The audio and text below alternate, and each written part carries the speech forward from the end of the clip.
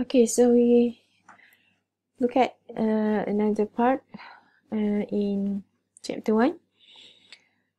So we have uh, now look at the uh, function of three variables. So we want to know how can we determine the domain and the range for this particular function. Okay, so here um, uh, what we have so far so from you enter from you have uh,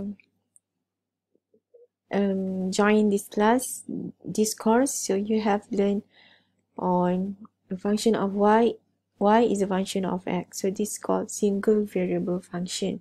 So um, and then just now from the previous video we have z is a function of xy x and y so that is called two variable function. And now we want to look at the three variable function where normally the three variable function is denoted by uh, w.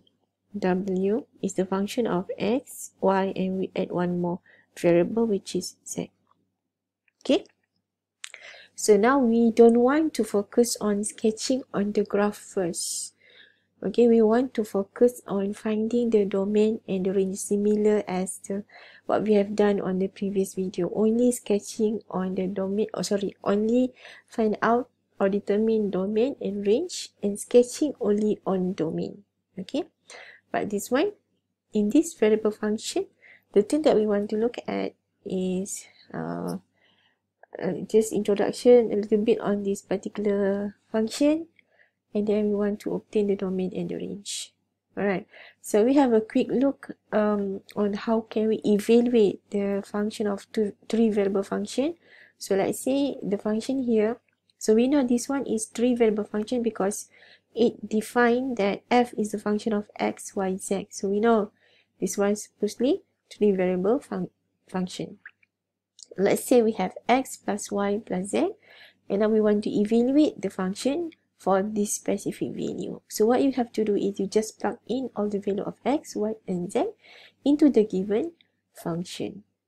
Okay, so I'm sure that you have no problem here. You just uh, plug in and evaluating. Okay, and if your uh, uh, your value is in terms of parameter rst, which is x equal to r, s y equal to s, and z equal to 2, and we just substitute the parameter. And we have another example here, x squared, y squared, z squared. And how can we evaluate this particular uh, z, uh, sorry, w or function? We just substitute uh, the value of x, y, z and then we compute. Okay, so I'm sure that that should be no problem for you. Okay, so it's just very easy. Okay, now we want to look at um, how can we determine the domain and range. So the procedure the process, the way you can you the template or the way you can represent the domain range are exactly the same as uh, what you have done in the previous video, in the previous lesson. But now you have to add one more uh, variable. So for domain, you must add the z. Okay, and your r is no longer z but w. Okay, so now uh, for the example one here, you have the square of x squared, y squared, z squared. So in order for you to determine determine the domain, again you have to uh, you have to declare that now the domain is the set of x, y, z. So you have put the z here, okay, and the x, y, z are should be real, and since there is a constraint, then you put the constraint where x squared plus y squared plus z squared. It should be uh, uh, greater than 0 or positive. Okay? Okay for this one uh, if you have the now I rewrite the domain. Domain is a set of x y z. Where the x y z real number. And then now here instead of you put the x square plus y square plus z square is greater than or equal to 0 and actually you you can also okay are you i'm using or um sorry.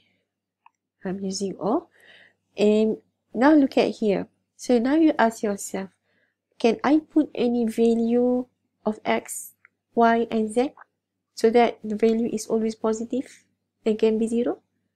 Okay, now look at the first term. If I put negative value, let, let's say minus 1, so in, it end up to be a positive, right? And similarly, if I put negative value or 0 or positive value, so this term will give you positive. And similarly for z, if you put negative value, so the answer should, should still give you a positive. So positive plus positive plus positive, and the answer definitely a positive number. Or if you put a 0, 0, 0, x0, y0, z0, and the answer also can be 0. So meaning that instead of you put this uh, way of writing, you can also just say, I mean, just ignore this one. Because you can you can say that I can put any x, y, and z.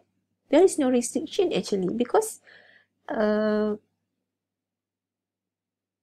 when, when you put that value, so the answer still always positive.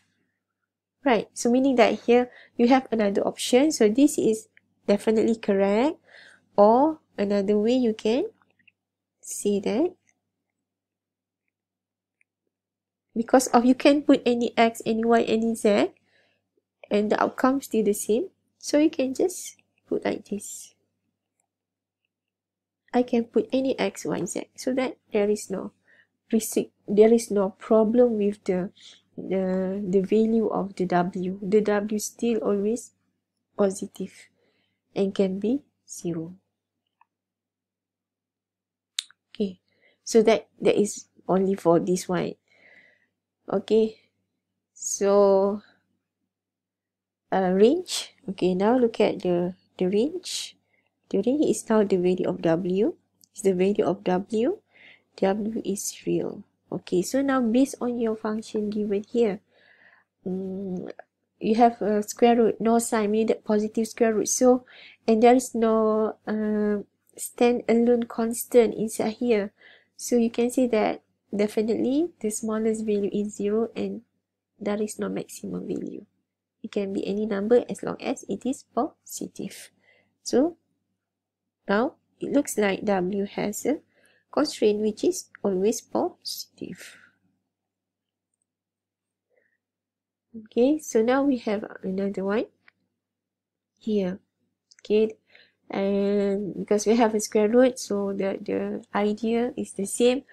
The constraint is coming from inside the square root function and the square root function, I mean the function here should be whatever value they are always should be positive more than, I mean always positive and zero. Okay and that is your description of the domain. And then uh, range. Uh, okay a range is the value of w. W okay. So w.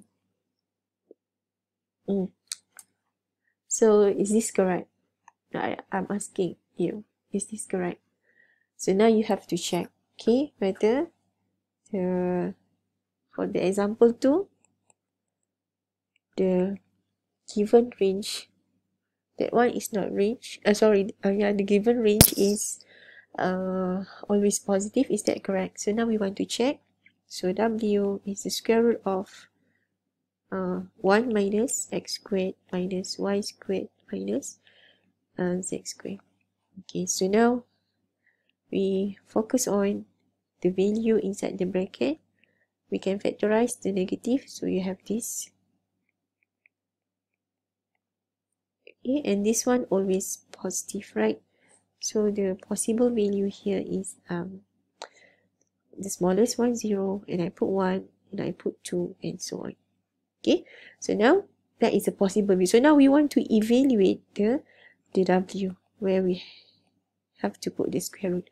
So if we if your if your if your value value in the bracket here zero so zero so your W is square root of 1 minus 0 and will give you 1.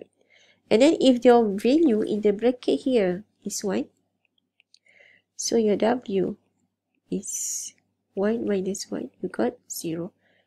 And then how about 2 or how about 1.5 and so on.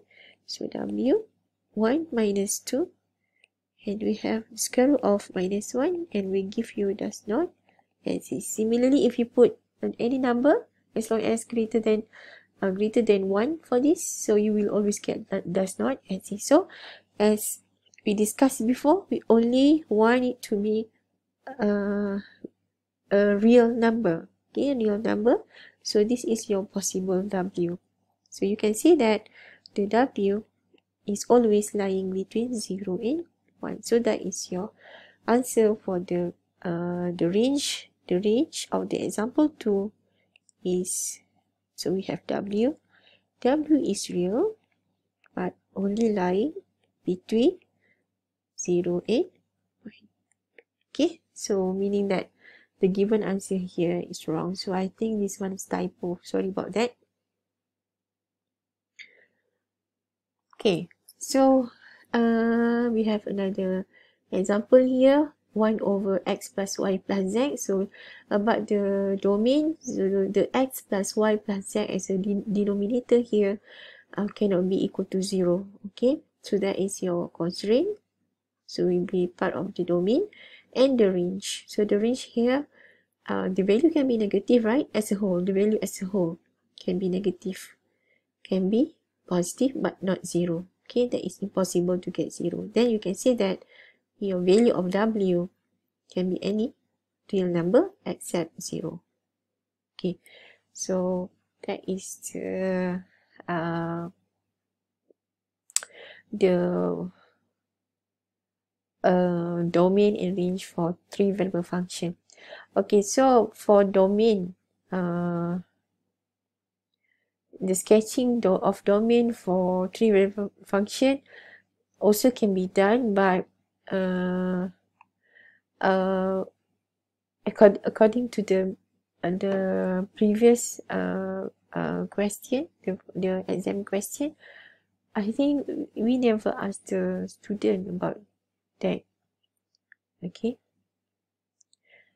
Uh, that is because of uh, I would say that it's not so important as in domain for two variable function okay because the three variable function we have a different situation where the sketching you will see that when you sketch the graph. So where the sketching of the graph will be on the next uh, part of the notes not in here. Here we only focus on the uh, sketching of domain uh, domain and also finding the domain and range